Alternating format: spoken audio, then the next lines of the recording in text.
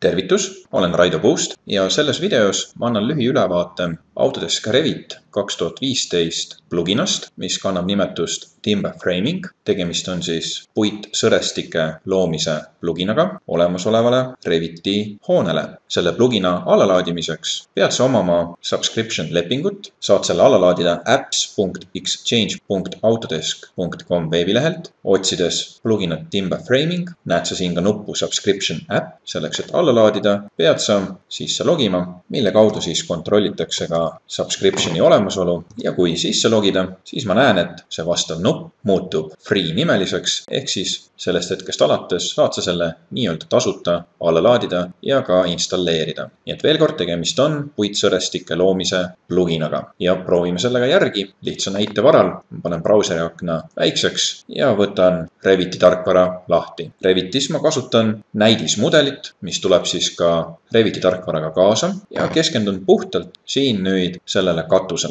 Valides katuse ja olles eelnevalt siis installeerinud sõrestike plugina, ma leian selle plugina extensions paani alt, seejärel juba Autodesk Revit Extensions, nüüd Modeling ja nüüd Rafter Framing, klikk sellele. seejärel toimub katuse objekti nii-öelda sisselaadimine, sest katuse ma hetkel olen valinud ja kuvatakse hetkel siis katuse puhul sarikateks jagamise skeem. ma panen tähele, et siin vasakus sektsioonis ma saan defineerida nüüd katuse sõrestik või sarikasüsteemis erinevaid komponente. no ma võin alustada siin rafters, mis on siis põhisarikad, ütleme, ja kuna see katus on lihtne kaldkatus, siis on siin ka kaks poolt, saan hiirega valida ühe poole, teise poole. punaselt tähendab siis, et see on valitud ja seejärel saan juba redigeerida nüüd seda sarikate skeemi. näiteks tail type on võimalik ümber valida. ma kasutan siin suuresti vaikimisi seadeid, võib-olla võtan ainult ristlõike eelvalitsusest viiskümmend korda kakssada ja sarikate vahekauguse ma panen näiteks kuussada millimeetrit, enter. seejärel muutub ka hetke pärast see skeem siin eelvaates. mul on võimalik mõistagi neid sarikaid ka ühekaupa nihutada, kui näiteks aken peaks lõikama neid sarikaid ja saan seda teha siis vastavalt siin tabelis, korrigeerida. meie oma näites aga võtame ka teise poole, teeme siin sisuliselt sedasama viiskümmend korda kakssada, paneme ka siin kuussada ja seejärel enter, on ka siin see skeem muutunud ja nüüd juba ma liigun järgmise osa juurde. oletame, et selleks on trimmers and headers, noh, kõige lihtsam näide on selle juures akende puhul, et kui sarikas peaks siis akent lõikama, aken on laiem kui sarikate vahekaugus, siis ma peaks ka sarikat katkestama. selleks, et seda lisada, ma võtan vaatluse alla just selle akna siin, ka siin pildi peal on näha, tegemist on siis selle aknaga. Ja lisan sellele nüüd, ütleme, vahetalad. Ja teen seda siis järgmiselt, kus ma eelnevalt olen akna välja valinud, võtan võib-olla profiilina siin viiskümmend korda sada viiskümmend, seejärel annan vahekauguse, vahekaugus siis aknast, see on antud juhul D1,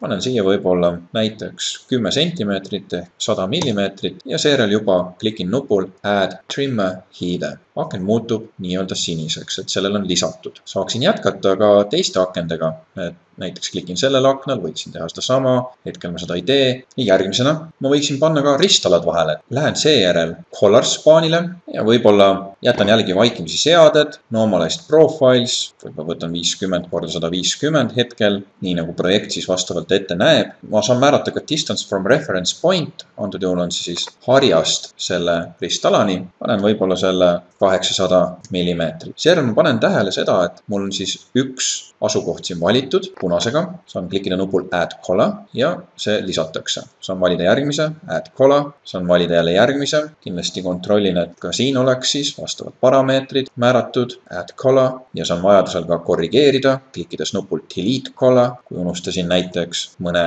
vale sätte. võib-olla teen ühe veel, jälle kaheksasada ja add color ja võiksin jätkata ülejäänud komponentidega, on siis siin veel ka katuse harjal lisadala, ridges ja on ka veel Perlins, neid ma hetkel ei lisa, klikin OK ja seejärel juba toimub katuse nii-öelda ümberarvutus ja ka vastavate sarikate lisamine. ja hetke pärast uueneb ka minu joonis selles osas ma panen tõepoolest tähele, need sätted, mis ma tegin, need on mul ka joonisele lisatud, siis põhisarikad, ristkinnitused ja ka akna juures on siis tehtud katkestus selle tala osas, mis läbiks muidu seda akent. et väga lihtsasti kasutatav plugin, väga laiade võimalustega. Meie hetkel katsetasime seda siis katuse objekti juures. järgnevates näidetes juba uutest pluginatest ja nende võimalustest